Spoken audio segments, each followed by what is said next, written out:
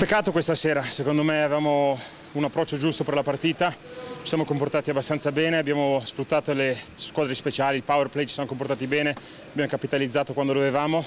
Piccole disattenzioni, quei due gol nel terzo tempo chiaramente sono costati la partita, ma sono quelle piccole perdite di lucidità che abbiamo già visto